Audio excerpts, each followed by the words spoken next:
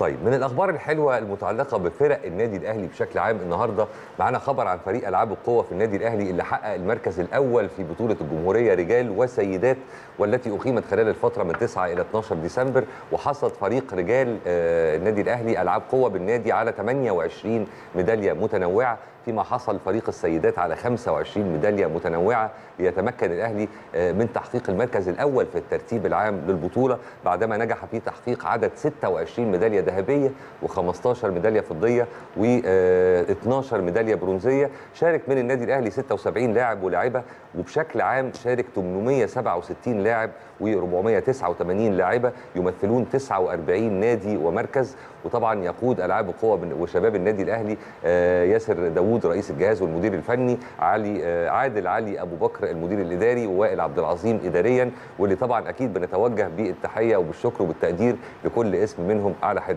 إحنا معانا على التليفون كابتن أيمن الصعيدي مدرب ألعاب القوى بالنادي الأهلي. وثب عالي صباح الخير على حضرتك يا كابتن أيمن ومليون مبروك. الله يبارك فيك الله يبارك فيك يا فندم. وصباح الخير على النادي الأهلي وعلى كل من في الاستوديو صباح الفل وصباح. الانتصارات على حضرتك. ويا فندم كل الفرق المشاركة اشتكت. كل ما حد يروح ياخد ميدالية يقول لك لا النادي الأهلي خدها. سواء ميدالية ذهبية برونزية فضية. ما تعملوناش مشاكل مع الفرق المنافسه ارجوك يا فندم. والله إحنا بنتعب وبنشقى. وربنا يعلم إحنا بنعمل قد إيه. وعلى فضل الكابتن فضل الله سبحانه وتعالى ومجلس إدارة النادي الأهلي. جميل. وكما هي عادة النادي الأهلي كل ما بنفت يعني نفتح صفحة نقفلها بانتصارات وندور على الصفحة اللي بعدها.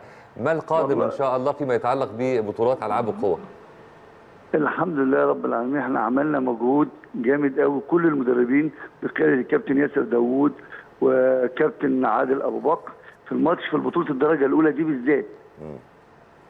إن إحنا تعبنا فيها قوي عشان نوصل للميداليات دي. كنا ناويين نية وربنا يعلم لآخر يوم قبل يوم البطولة وإحنا بنحسب ميدالياتنا. في كل اللعيبة بتاعتنا وربنا وفق كل أبطالنا. حتى اللعيبة اللي طالعين الصغيرين اللي بينافسوا اللعيبة الكبيرة عملت حاجة كويسة.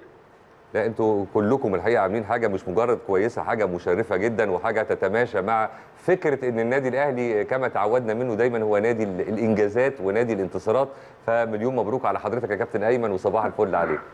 صباح الفل عليك يا كابتن كريم وعلى كل الناس اللي في الاستوديو. وربنا كريم لكل مجتهد نصيب. إحنا عملنا حاجات حلوة كتير الحمد لله رب العالمين. مبروك يا فندم ومزيد من النجاحات والانتصارات إن شاء الله وبنشكرك على وجودك معانا. شكرا جزيلا.